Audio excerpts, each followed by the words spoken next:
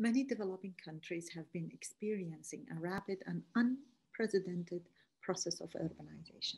At present, more than half of the world's population lives in cities, and over 20 million women migrate to cities every year. By 2030, approximately 700 million girls will live in urban areas.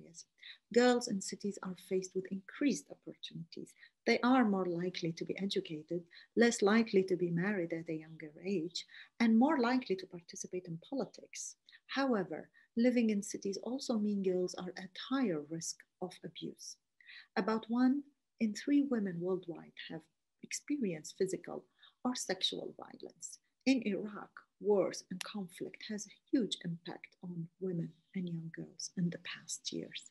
They deserve safer cities. To raise awareness of women and girls' safety and rights, I call on governments to take measures to ensure women and girls' safety in urban cities during and post conflict.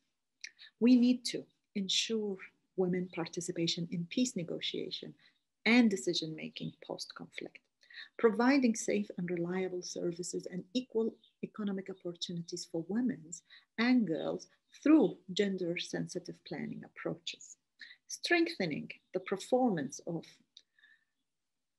agencies that are dealing with protection policies, but also promotion of women and girls safety issues in the community. Carrying out research to understand the real problems facing girls and women. Everyone has the right to live a safe, equal, and dignified life in a safer cities. Violence against women is a violation of human rights.